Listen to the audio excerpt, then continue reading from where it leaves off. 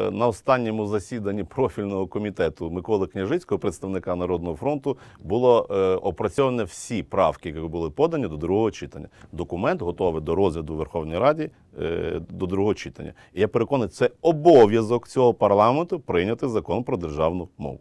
Але є люди, І які і не я- надто захоплені від цієї. Я розумію, ідеї. що хтось не надто захоплений, і хтось говорив, що ці питання можуть почекати. Це фундаментальне питання відновлення української державності, встановлення е, державності, відразу агресії. Ми армію створили всі разом. Створили всі разом. Тепер е, е, гадаю, що на, на Різдвяні свята ми отримаємо Томос і е, Православна Українська церква запрацює наповну.